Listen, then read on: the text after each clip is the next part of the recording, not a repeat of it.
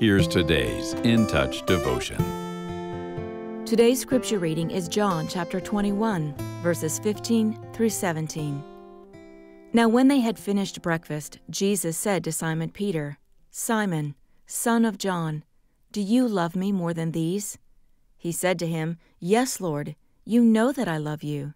He said to him, Tend my lambs.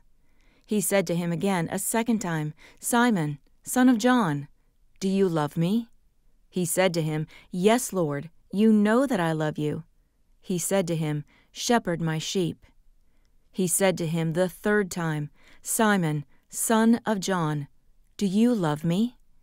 Peter was hurt because he said to him the third time, Do you love me?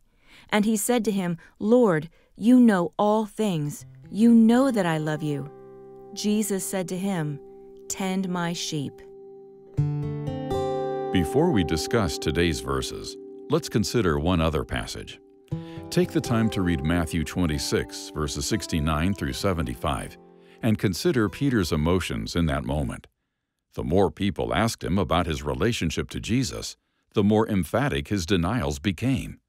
At first he said, I do not know what you're talking about. Then he denied Jesus with an oath and finally began to curse and swear. But when the rooster crowed, he remembered his words to Jesus from the night before I will never fall away. He had even gone so far as to declare he'd never deny Jesus, even if it meant dying with him.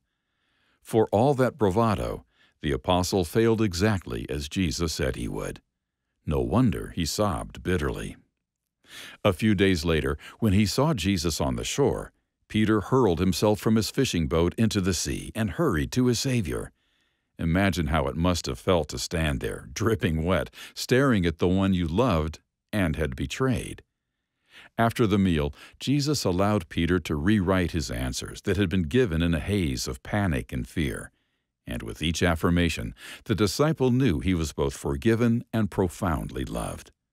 Christ always offers that same affirmation to those of us who are believers. The Lord Jesus will always forgive and restore fellowship with anyone who knows Him as Savior.